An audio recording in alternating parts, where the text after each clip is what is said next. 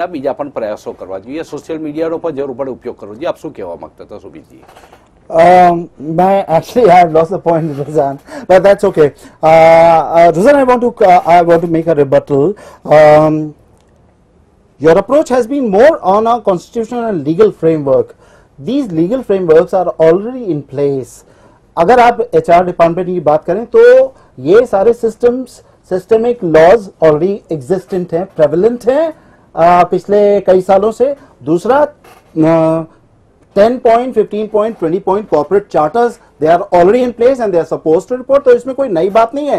लेकिन सवाल यह है कि उसके बावजूद इस चीज़ का मिसयूज हो रहा है इस चीज़ को आ, गलत तरीके से लिया जा रहा है। अगर कोई लेडी अगर कंप्लेन करती है तो उसको शी शोन द डोर मतलब the issue is and I know many cases where it's not it's not the question of lady और gent it's it's a question of it's a very sensitive subject और इसको उसी sensitivity से हमको शायद बात करनी होगी। आप बॉलीवुड की बात लें।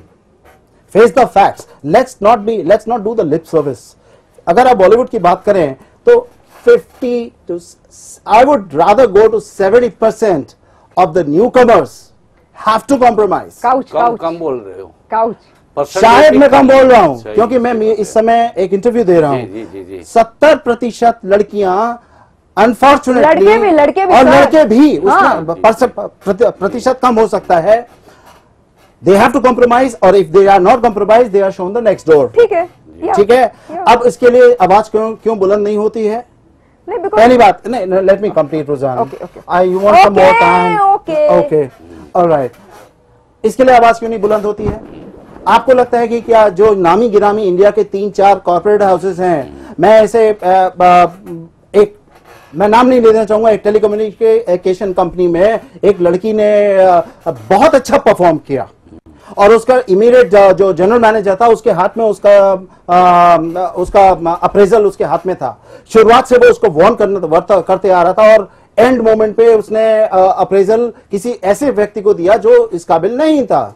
सवाल इस चीज़ का नहीं है। सवाल यह है कि हमको इस चीज़ को टोटल एक इंक्लूसिव एफर्ट एक इंक्लूसिव अप्रोच बनाना चाहिए जिसमें society policing laws constitution and judiciary मेरे ख्याल से इस, इन सब चीज़ों में सबसे बड़ा villain and I think you'll agree with me is judiciary the legal system result result सबसे बड़ा होना चाहिए। सबसे बड़ा विलियन है कि कोई बाहर आके बोलता नहीं है ना बिकॉज़ अगे अगर कोई बाहर आकर बोलता भी है तो, तो उसका पोस्टमार्टम मधुकर भंडारकर का जो केस हुआ सच गलत तो पता नहीं अंदर अंदर सेटिंग हो गए पैसा दे लेके। शाइनी की बात करो नहीं मधुकर भंडारकर के शाइनी बाबू का तो रेप केस था। मधुकर भंडारकर का ये काउच वाला केस था कास्टिंग काउच वाला आप जो बोलो। लेकिन ये तो पॉलिटिक्स में भी होता है। सर एक मिनट।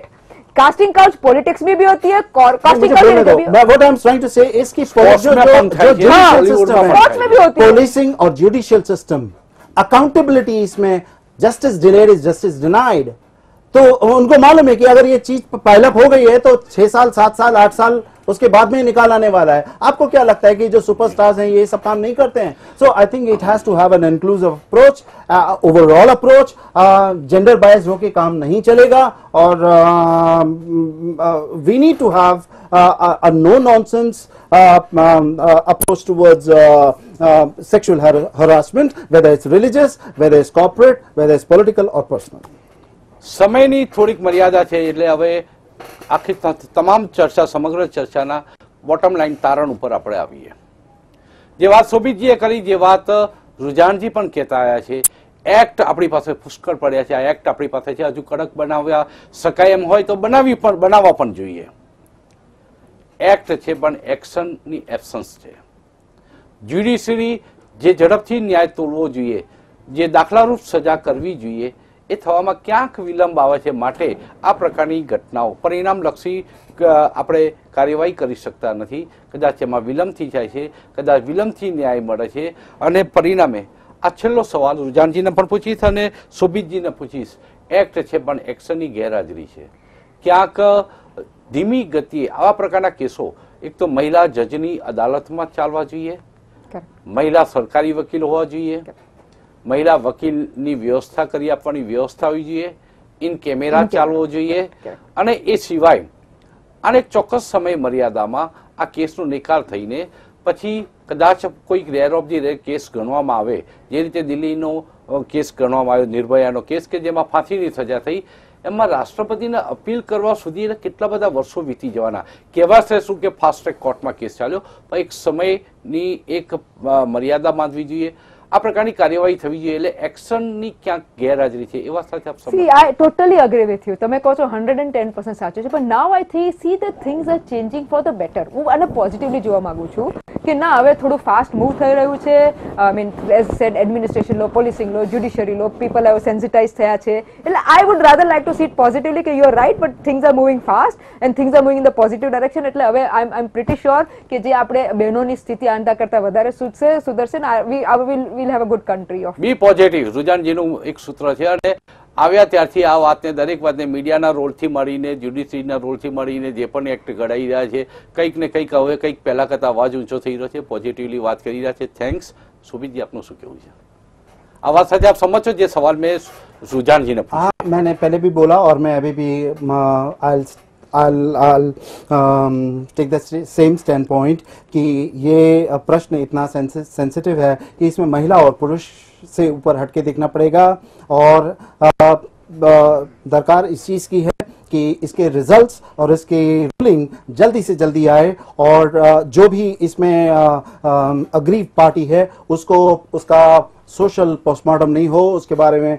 न्यूज़ ना फैले, और वो इन कैमरा हो आउट कैमरा हो बट मेरे ख्याल से लीगल रिकॉर्ड्स लेने से पहले एक ट्राइब्यूनल बनना चाहिए, जिसमें फास्ट बहुत फास्ट ट्रैक काम हो जाएगा। फास्ट ट्रैक कोड भी अब इतने फास्ट नहीं है जितना हम समझते हैं। तो अंदर ही अंदर चीज़ों को विश्लेषण किया जाना चाहिए। लेकिन हाँ महिला और पुरुष वक्त आ गया है कि हमको देखना पड़ेगा दोबारा विचार करना पड़ेगा कि ये सेक्सुअल हेरसमेंट केवल महिला पे सीमित है या इसमें पुरुष पुरुष भी मतलब कि जेंडर नो भेदभाव राख्या विना जेंडर का भेदभाव कायदो बनवा चाहिए वन साइडेड न बिल्कुल एब्सोल्युटली वन साइडेड नहीं होना चाहिए। नहीं होना चाहिए और ये दुनिया ने दुनिया ने इस चीज को पहचान लिया वक्त आ गया है इंडिया भी चेंज हो रहा है ग- और इंडिया चेंज होगा और मैं भी अ, रुझान के जैसा Right. बहुत पॉजिटिव हूँ कि it will go for Be massive positive आप, जी। एब्सोल्युटली દર્શક મિત્રો કન્ક્લુઝન ઉપર આવું ખૂબ અઘરું થઈ ગયું છે એક એન્કર તરીકે પણ રુજાનજી જે વાત કરી રહ્યા છે રુજાનજી જ્યારે વાત કરી રહ્યા છે ત્યારે તેમણે આખા તહલકાના પૂરતી સીમિત રાખી રાખવાના બદલે આખા સમાજની જે એમને દર્શન કરાવવાની અને મહિલાઓની સ્થિતિને ઉજાગર કરવાની કોશિશ કરી છે. અને શોભિતજીએ જે વાત કરી છે કે માત્ર મહિલાઓની હેરેસમેન્ટ થાય છે એમ માનીને બેસી રહેવાની જરૂર નથી. દુનિયાના સાડત્રીસ જેટલા દેશોમાં પુરુષોનું પણ હેરેસમેન્ટ થાય છે. એની સામે ન્યાય મેળવવા માટેના કાયદાઓ ઘડવામાં આવ્યા છે. આ ચર્ચાને બહુ હળવાશથી નથી લેતા, પરંતુ આ ચર્ચાને લાઇટલી પણ નથી લેવી. કેમ કે મહિલાઓનું જાતીય શોષણ થવાના કિસ્સાઓની માત્રા જરા સમાજમાં, આપણા સમાજમાં જરા વધારે જોવા મળી રહી છે. કારણ કે આપણું જે સંસ્કૃતિ છે અને પશ્ચિમીકરણ, બેની છેડભેડ થઈ રહી છે અત્યારે. ધ્રુવીકરણના તબક્કામાંથી આ દેશ પસાર થઈ રહ્યો છે અને હજુ પૂરેપૂરું પશ્ચિમીકરણ આપણે અપનાવી શક્યા નથી. જે જાતની મહિલાઓ માટેની સંવેદના હોવી જોઈએ. અમેરિકન સેનામાં પણ મહિલાઓ સૈનિકો છે અને એમની સાથે બળાત્કારની ઘટનાઓ બની હોવાની ઘટનાઓ પણ બહાર આવી છે. એટલે અમેરિકા પણ દૂધે જોયેલો દેશ છે એવું કહેવાની જરૂર નથી.